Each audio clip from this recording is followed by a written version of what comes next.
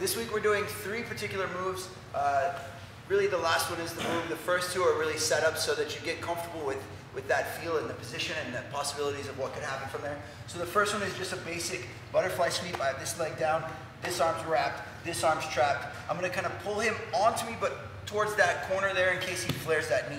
Okay, I don't want to lay on my back in a regular butterfly sweep. So I want to fall to the side, not on my elbow, and then I elevate the leg. I can go to mount or right to a side control. Okay, that's the first one. The second one is just kind of an elevation into an X guard. So I have the same kind of position, but instead of trapping this arm, this hand's gonna go under this leg.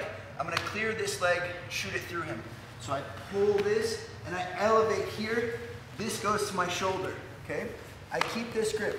Elevate here so that I can kick my butt and my other foot goes in front of his hip. You got a good angle here, I need to move. Okay? So this is where I want to be. Okay? Now I can do lots of different sweeps in from here, back takes, all sorts of stuff from the X guard. Okay? So that's where we want to set that second one up. Okay? Let's come this way so that he gets a good view of number three. Okay? Number three, I start the same way as the X guard. I'm going under, I lift, but instead of putting my foot here for the X guard, I put my leg like this, elevate, go to my back.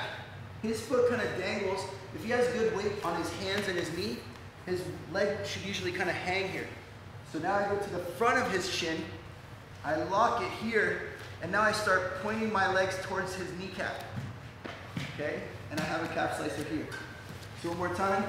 You can go right from the X guard if you want. I elevate, kick, lock. Okay? And point that. Okay?